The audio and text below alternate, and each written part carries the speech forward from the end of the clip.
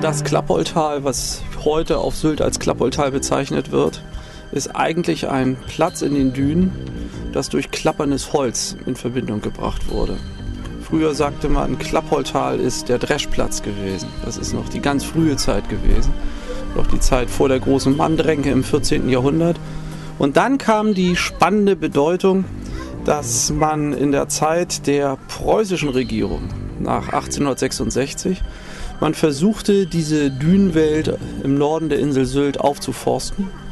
Und dann wurden kleine Bäume, junge Setzlinge in die Dünen gegraben und der Weststurm kam und das Holz klappte um. Und die plattdeutsch sprechenden Waldarbeiter sagten das nur all Klappholt, also Klappholztal heißt es eigentlich. Umgewehtes, umgebrochenes Holz. Die Gebäude auch dieses flache Gebäude, neben dem wir hier sitzen, sind aus dem Jahr 1915. Und das sind Gebäude gewesen, die während des Ersten Weltkriegs hier gebaut worden sind. Ein Angriffsplan der britischen Marine auf die Nordwestflanke Deutschlands äh, ist verraten worden und man hat dann Vorsorge getroffen. Schwere Küstenartilleriegeschütze auf die Dünen gebracht und die Soldaten lebten hier im sogenannten Lager Klappoltal. Das war seit 1915 der Fall. 1918 hatte sich die Sache erledigt.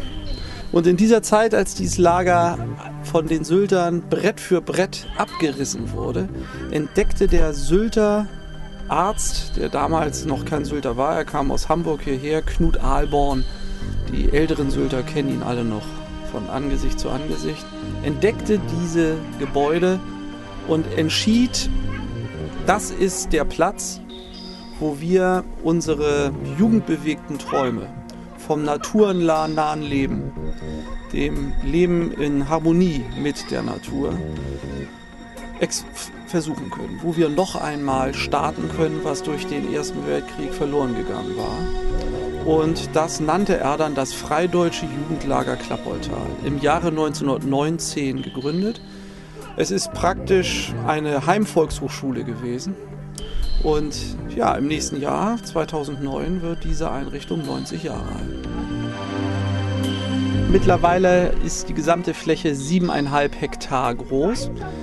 Die Fläche wurde nach und nach zusammengekauft und es ist im Privatbesitz unseres Trägervereins und die Gebäudeanzahl beläuft sich auf 86 Gebäude.